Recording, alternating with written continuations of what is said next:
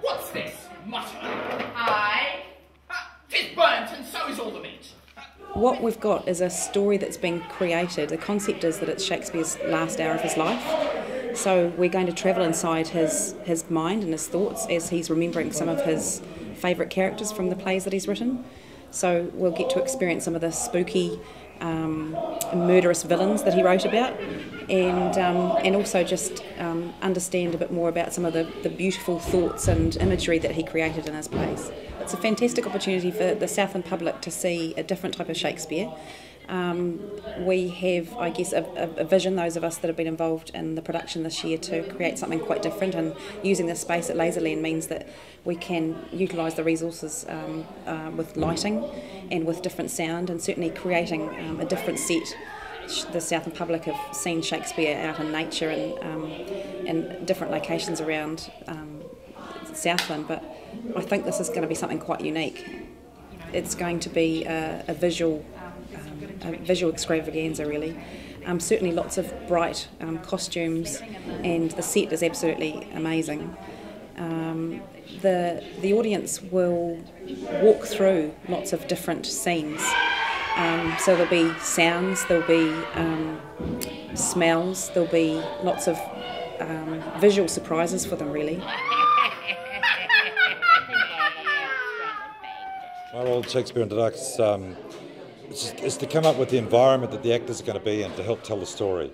So all the visuals, um, the spaces, uh, transforming the spaces into something that's workable for the storyline which we've come up with. So um, making the storyline come to life. So I like the feasting room, and I also like the beginning where Shakespeare, when he's in, in his room and he, he is dying.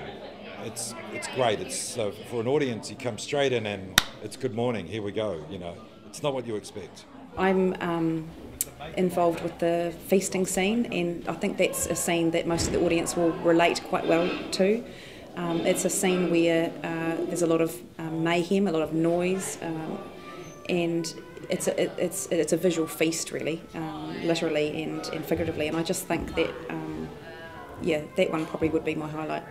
There's a great team down here, and that's why I came back because the the um, the cast and, and the people that are involved in this production, a, a beautiful spirit. And I just thought I want to be part of that, and I want to help them make their dream come true. Ten years, ten years of Shakespeare in the Park's a long time. Um, and they wanted to do something different, and I've got the, you know, I'm lucky in my job. That's what I do. I do big events and, and, and lighting and sets, and so I wanted to bring that down here and do it. We, we like to give them a little postcard, so maybe when they're driving, you know, somewhere to Queenstown about a week's time, that some a little scene comes in their head, and when they can figure out what was all that about, or you know, wow, that was really cool. What was you know, I love that. So so we like we like people to take away um, some of the dreams, maybe you know. So it's not just walk through and see it now. It's actually, you know, it's embedded in the head. It'll come back and, and visit you later on.